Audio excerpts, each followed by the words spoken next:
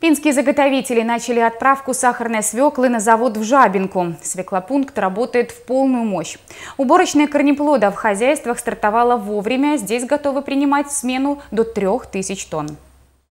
Пункт по приему сахарной свеклы единственный на два района – Пинский и Столинский. Всего их в Брестской области 8. Заготовка идет как по нотам. Каждые 15 минут на базу сельхозтехника привозит собранное с полей сырье. В целом за 8 часов буртоукладочная площадка заполняется в среднем на 1300-1800 тонн. Лидер по сбору корнеплодов – Столинский район. Здесь уже убрали более 60% всех площадей.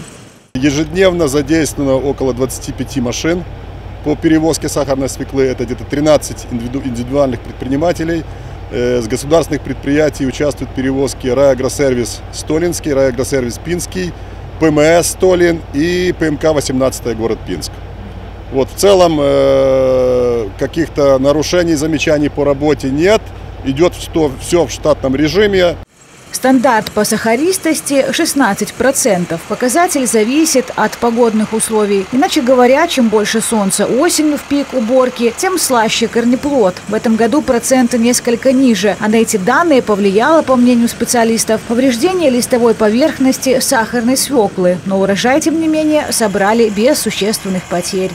Урожайность, э, значит, по Пинскому району, Воснежецком 625 центнеров с гектаров, в Ставокском где-то около 600 Э, в Столинском, в Видиборске урожайность э, будет 450 центнеров с гектара и Новая Припять 500 центнеров с гектара.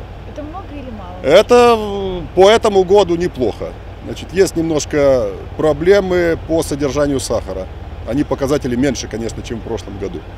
Из Пинской сырьевой базы в Жабинку ежедневно отправляют 15 полувагонов. Это 750 тонн сладких корнеплодов. Госзаказ 23 тысячи тонн должны заготовить на Пинщине и 14 тысяч на Столинщине. В том числе и от количества собранного урожая будет зависеть стоимость сахара. Как говорится, что посеешь, то и пожнешь.